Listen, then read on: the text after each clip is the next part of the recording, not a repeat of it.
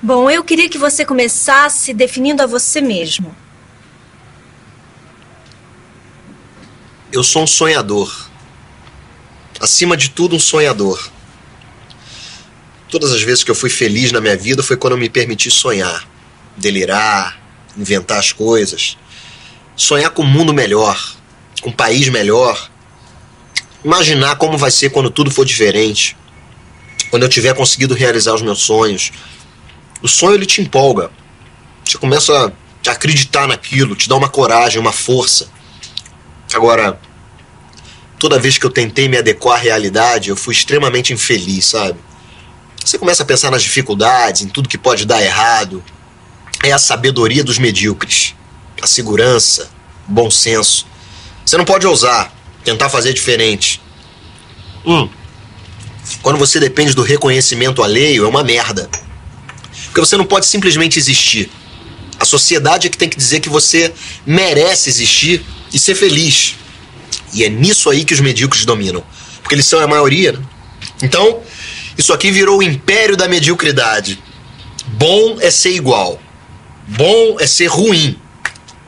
É por isso que rapidamente o sujeito tem que ser capaz de desenvolver um certo cinismo para poder sobreviver. O cinismo é como uma vacina. Na vacina, a pessoa é infectada por um vírus inócuo para desenvolver a imunidade contra o vírus de verdade. O cinismo é assim. Você fica meio acanalhado para poder não adoecer no contato com a canalice. O sujeito chega aos 30 anos e já é um amargurado, pelo simples fato dele ser brasileiro. Porque ele vive numa, numa realidade que é antibiótica, massacrante. Mas você não acha que as coisas podem melhorar?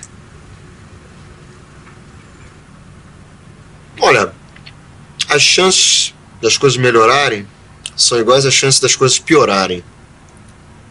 O problema é que a gente vive numa merda tão grande que as pessoas precisam se agarrar a uma esperança ou acreditar em alguma coisa para não entrar em depressão profunda ou para não se matar. A religião, por exemplo, é um antidepressivo, igual esses remédios que dão aí para os malucos. O cara fica todo bobo. Jesus, Jesus. Acaba com o cérebro do sujeito. Passa a ter só vida funcional. Acorda todo dia de manhã, pega o ônibus, vai pro trabalho. No trabalho ele só tem que fazer as operações básicas. Tá tudo nas cartilhas, nos manuais. Ninguém precisa inventar nada, porque os gringos já pensam em tudo por nós. É só copiar o que eles fazem. É só traduzir, mal traduzir os manuais que vem de lá. É tudo assim. A novela, toda essa babaquice da TV. É tudo antidepressivo. É tudo droga, tudo tem efeito psíquico.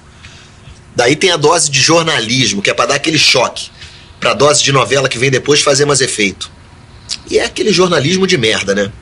O cidadão tá ali em casa sério, compenetrado, querendo se informar para saber das coisas e tá sendo feito de palhaço, de otário, sendo manipulado, imbecilizado do mesmo jeito.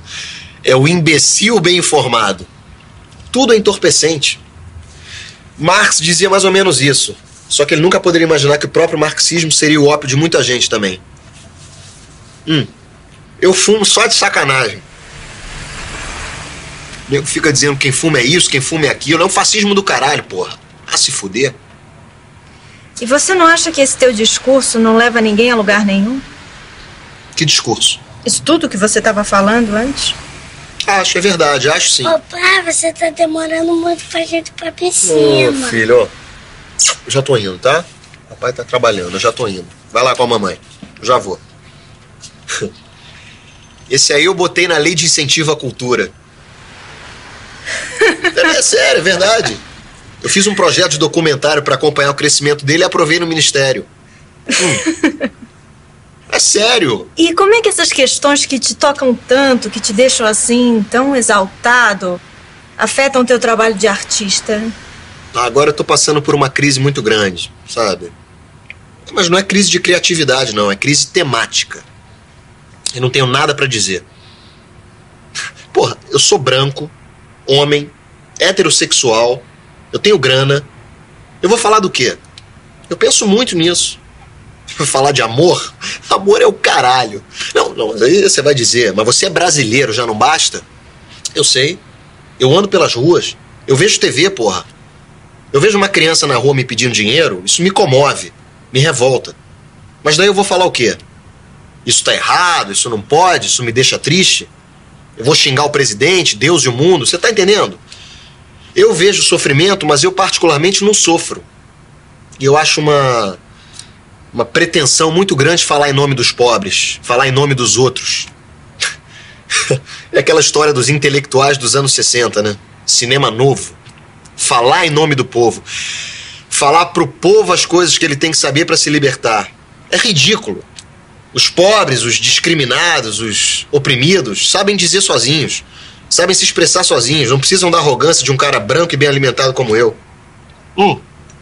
E digo mais: estão achando as suas próprias soluções, independente do Estado, dessa imprensa calhorda e dos intelectuais.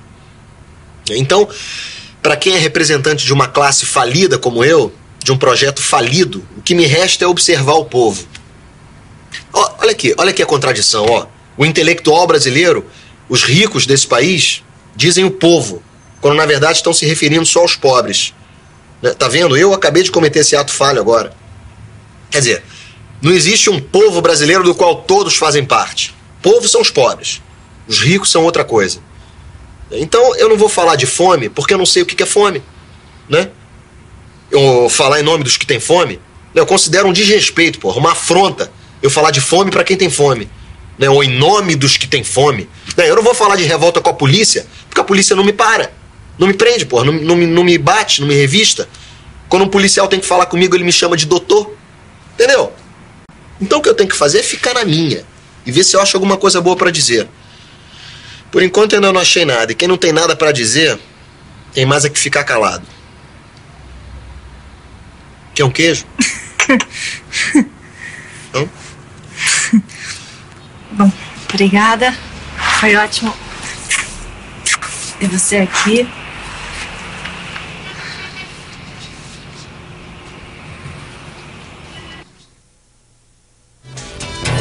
Talvez fora melhor a surdez Pra só sentir as vibrações dos sons e dançar solto E fora preferível a embriaguez entorpecimento é lícito, se não vou ficar mais torpe. Quisera ostentar a alegria dos que dançam à minha volta, balançando popozão. Quisera ostentar a alegria dos que dançam à minha volta, balançando popozão. Mas sacolé, maluco, sacomé. Mandei a bunda na cabeça E te veio cabeça no pé. Sambei na merda, baguncei a serra Também não fora por desgosto Só por gosto. Bob Dylan não falava nada. Meu amigo Joe me ensinou Não importam os poemas O importante é ser poeta. Meu amigo Joe me ensinou